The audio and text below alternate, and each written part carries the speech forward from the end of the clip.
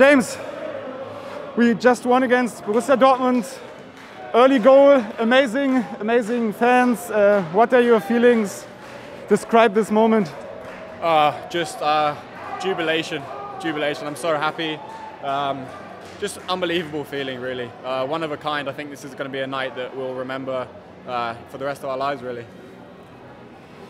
First of all, this is for uh, all fans who was today not here because of this corona, who support us from outside of tribune of stadium.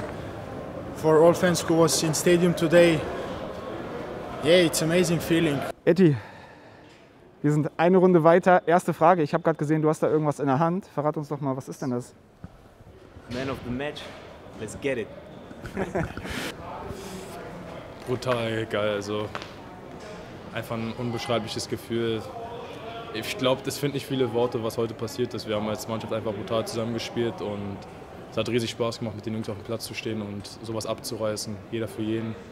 Und ja, ich glaube, kurz und knapp, einfach nur geil.